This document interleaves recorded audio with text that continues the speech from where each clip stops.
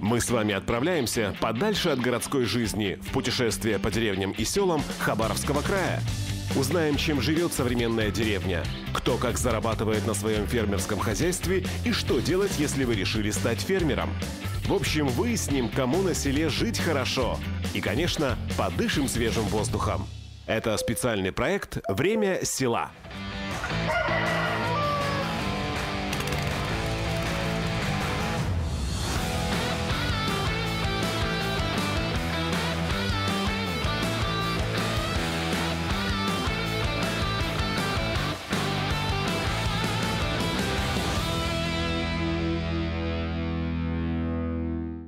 Я уверен, что процентов 90 россиян обожают блюдо из мяса птицы. Во-первых, оно вкусное, во-вторых, полезное.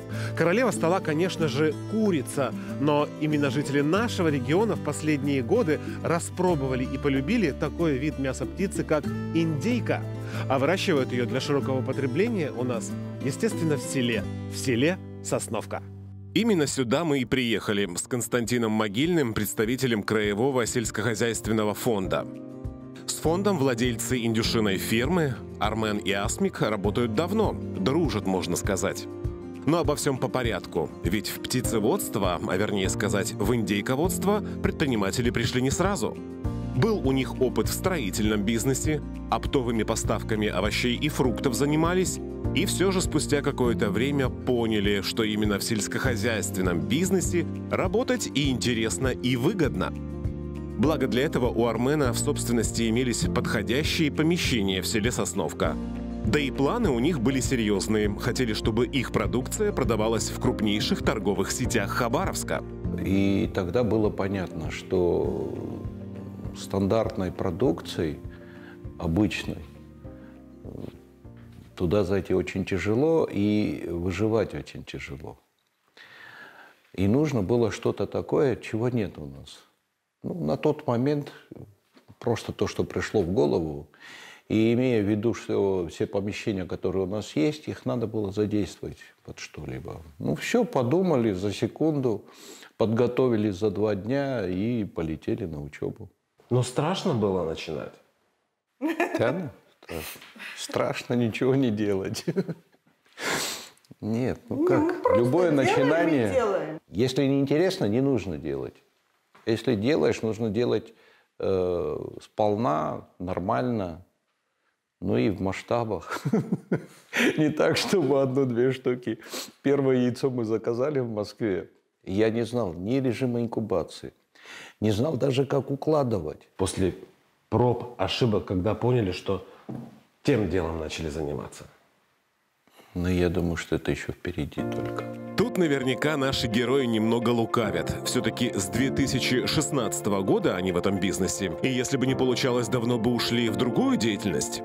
Конечно, многое случалось за эти 8 лет, была угроза и банкротства в том числе, но именно в тот момент жизни, по, наверное, счастливой случайности, судьба свела их с краевым сельскохозяйственным фондом. С краевым сельхозфондом э, взаимоотношения были не денежные, а именно в плане оборудования. Э, вот они приобрели для нас 4 единицы оборудования. А однажды Краевой сельскохозяйственный фонд, можно сказать, спас фермеров от разорения. Приобрел для хозяйства корма и яйца для инкубации, а инкубатор приобретен за счет грантовой поддержки от Минсельхозкрая. Вот этот инкубатор был приобретен за счет первого гранта для начинающих фермеров. А сколько здесь яиц сейчас? Здесь порядка двух тысяч. Двух тысяч. Потом куда из инкубатора? С инкубатора цыплята идут э, в брудерную а потом уже выпускаются, выпускаются. на вольные хлеба, так скажем. И самый последний грант – это вот на строительство второго птичника, да? Да, это был 20 год.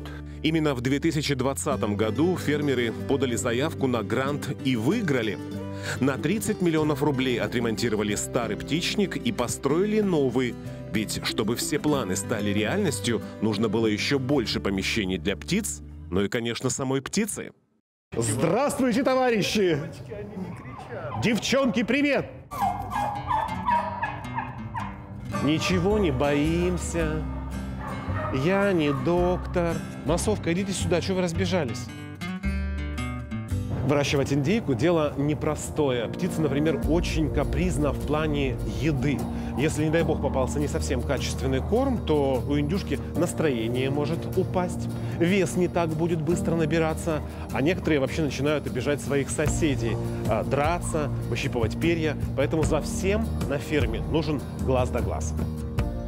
Это правильная освещенность в птичнике, вентиляция помещений и много других факторов.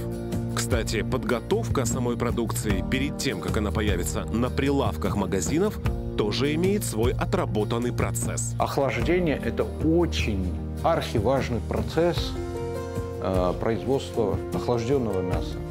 Нет такого понятия для нас, как парное мясо, потому что парное мясо поставляться в магазин не может. Не может, конечно. Условия хранения для охлажденного мяса минус 1 плюс 2 градуса. Мы работаем по ГОСТу. Но степень охлаждения уже такая приличная. Сколько она охлаждается по времени? Ну, считайте всю ночь. Всю ночь. Да. Это О, филе грудки. Это филе. Это прям вот это, это грудь. одна половина одной птицы, где-то порядка весом э, тушка будет где-то 16 килограмм. Диетическое. Гипоаллергенное. Гипоаллергенное, быстро усваиваемое мясо индейки. Сейчас на ферме будет проходить плановая ежегодная профилактика. Период, когда нигде никакой птицы нет. Все помещения обрабатываются, все тщательно чистится и моется. И все это ради того, чтобы через два месяца новому поколению индейки были все условия для роста, а семейному бизнесу все условия для дальнейшего развития. Если мы можем себе позволить на сегодняшний день производить порядка 75-80 тонн диетического мяса индейки, а, а извините, когда к вам приезжают родители детей маленьких, которым нужно именно гипоаллергенное диетическое мясо. Только одного посещения на день хватает, чтобы у тебя настроение, что ты делаешь что-то нужно. Какая, оказывается, хорошая вещь – гранты. Открыл свое дело, разработал бизнес-план совместно с сельскохозяйственным фондом, выиграл средства и продолжаешь развивать бизнес. Сейчас расскажу вам об одном предприятии, которое было построено при помощи региональных грантов. Но только на этом оно не остановилось, а пошло гораздо дальше. Если бы я решил заняться фермерским делом и выбрал направление животноводства, то тоже бы присмотрелся к этим местам с очень уж благозвучным названием – «Благодатное». По фэншую самое то. Именно здесь несколько лет назад в чистом поле начало свою деятельность семейное предприятие во главе с Олегом и Александрой Борисовыми. Подчеркну еще раз, семейное предприятие. Позвольте я молочка вашего э, отведаю. Долгожданная дегустация вашего молока. А вам хочу задать вопрос, собственно, э, из каких э, бизнесов, из каких работ вы пришли в сельское хозяйство?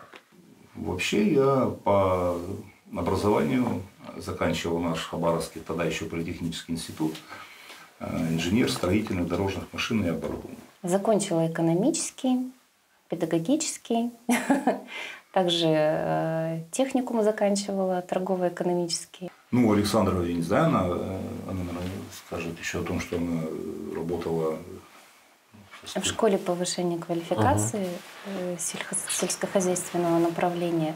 Ну и, скорее всего, оттуда. оттуда. То есть, то есть не, не, не хотелось уже сидеть в кабинетах, а уже приступать к настоящему делу. От теории, от теории к практике. Да, да, да. Э, русская душа, русская натура такая. То есть нам ввязаться, а там, там разберемся разбираются с 2019 года. И очень неплохо, надо сказать. Осваивая гектары земли, за это время чего тут только не появилось. Пастбище для выгула животных в теплое время, место для производства и хранения кормов, помещение для комфортной жизни работников фермы, баня, дом хозяев – цех по производству молочной продукции, но и непосредственно несколько животноводческих комплексов. У нас первый это универсальный, второй это для доения, третий это для содержания, это хоз э, нужды там. Ну сейчас вы вчера сказали 200, да, у вас голов? Да, более 200 голов. Ну еще какое-то Сейчас идут переговоры, да? да, откуда именно везем, потому что покупка племенных животных не такая легкая, скажем так, мероприятия. Какие породы, э, как называются породы, которые... Сементальская, Голштин, э, черно-пестрая, тоже голштинизированная. Это наши российские или... Да, это российские. Российские, да, все. И откуда они едут сюда? Отовсюду. Мордовия, Алтай, Тамбов. Когда Олег рассказывает о своем предприятии, о том, как тут все устроено, чем кормят коров, сколько молока они перерабатывают, рассказывает сознанием дела и с гордостью. Он действительно болеет своим делом. Хотя до этого бизнеса чем только не занимался, и не только в России.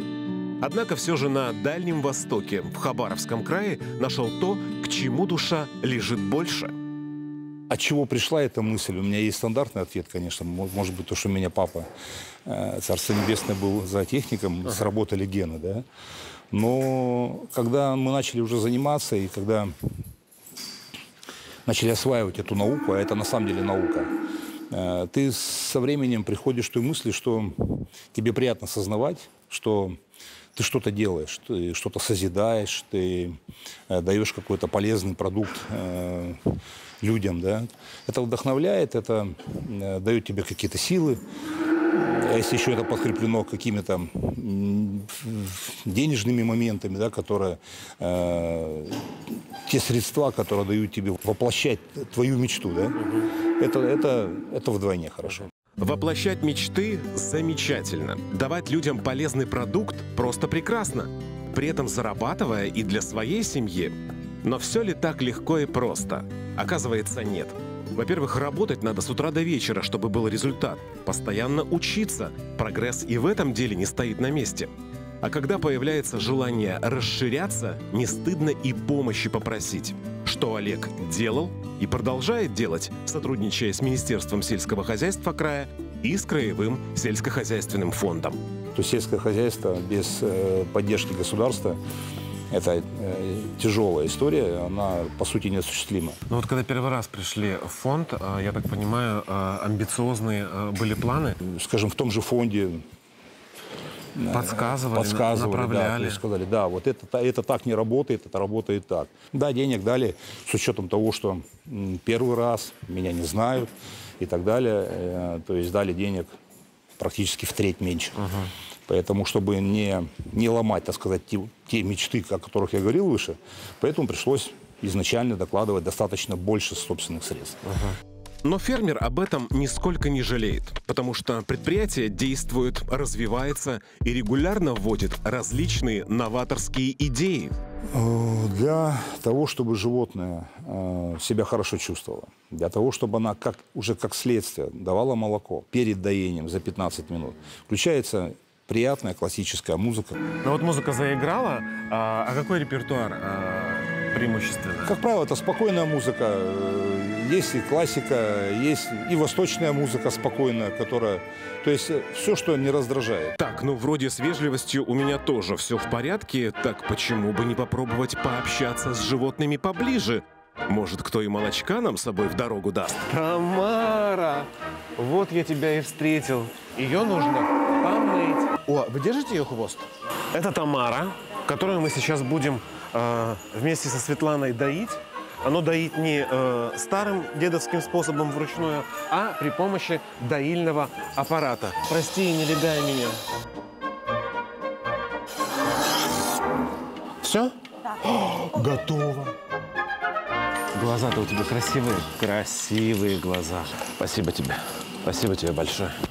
Как здесь содержатся животные, мы посмотрели, послушали историю создания этого предприятия, даже попробовали сами подоить корову. Но логичнее всего сейчас будет отправиться на местный молокозавод.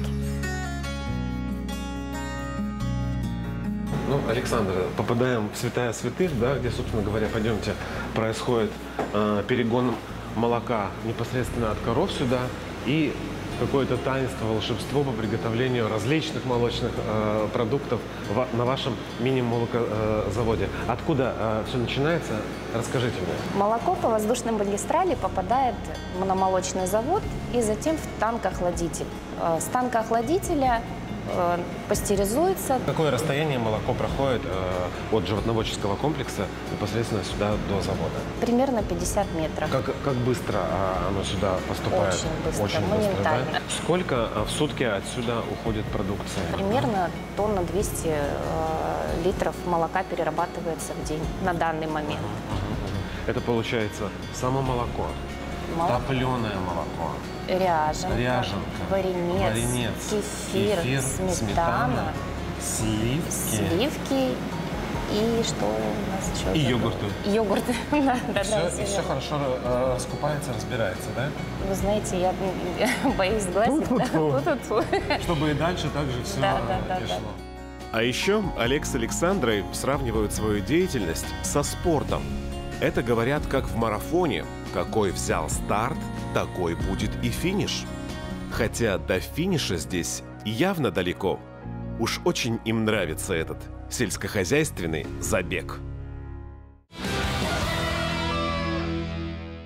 Итак, мы посетили село Сосновка, село Благодатное, посмотрели, как ведут свой бизнес предприниматели. Но сейчас мы находимся в центре города Хабаровска и отправляемся в сельскохозяйственный фонд, чтобы узнать о грантах более подробно. Вот как раз об этом более серьезно и более профессионально нам согласился рассказать руководитель Центра компетенции Краевого сельскохозяйственного фонда Александр Марченко.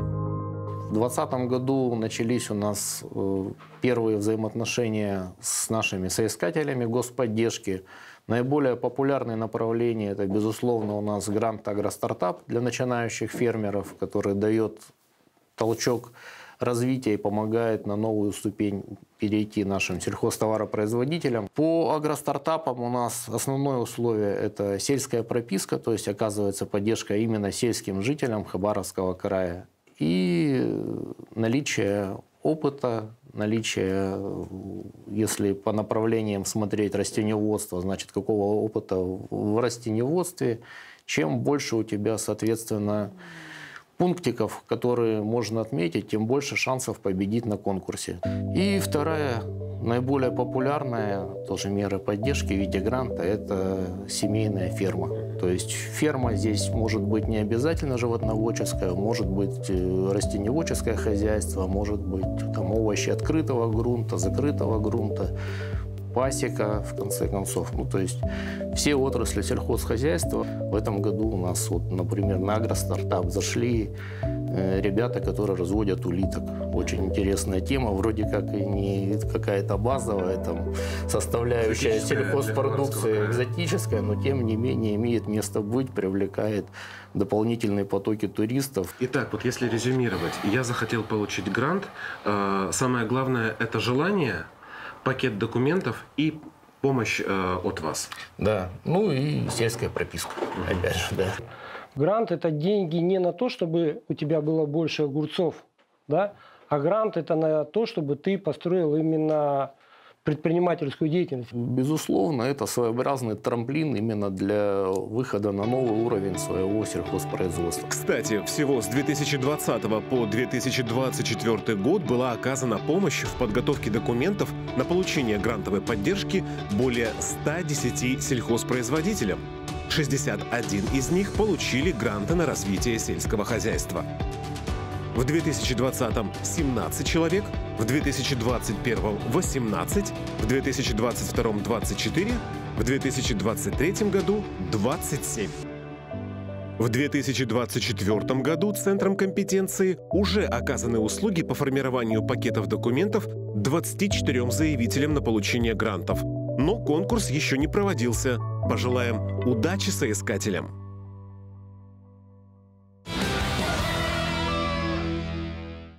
Ну что мы все о работе, да о работе. Отдыхать ведь тоже когда-то надо. А это жители сельской местности умеют делать очень хорошо. Тем более, когда есть такой повод, как Масленица. Масленица – это один из самых продолжительных и веселых праздников, отмечаемых на территории всей нашей большой страны. Бесплатные блины мы нашли сегодня. Народные гулянья длятся 7 дней и соединяют в себе народные традиции и современность. Беспроигрышная лотерея. Нормально. Семена. Гульнуть как следует да пообщаться с жителями о жизни на селе мы приехали в поселок Георгиевка района имени Лазо.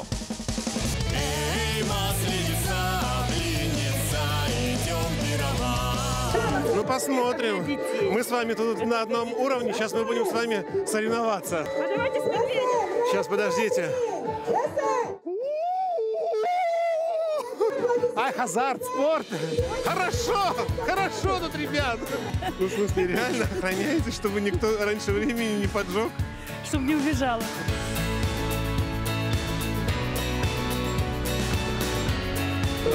Сколько лет вы живете в Георгиевке и не было ли желания за эти годы уехать в город? Знаете, э, я приезжая, я родилась в Уссурийске и приехала сюда 16 лет назад, замуж вышла. И с тех пор вот приросла к этой деревне. Для меня это теперь лучше дома не надо, лучше места в мире не найти. Я сюда приехала по распределению в 80-м году, закончив Хабаровский кооперативный техникум. И здесь э, мужа нашли, соответственно, Мужа у меня- семья. Да, и себя тоже. Чем нравится сельская жизнь? Спокойно. Я приезжаю к детям в гости, в гости, я, например, устаю сильно вообще от шума, от этого. А здесь спокойно, хорошо. Я знаю, что у нас много молодежи остается, и как бы где родился, там и пригодился. Ответственный момент. Провожаем зиму, встречаем весну с жителями поселка Георгиевка. Чтобы не погасла, гори-гори ясно! Как вы наверняка поняли, сельская жизнь – особенная жизнь со своими плюсами и минусами.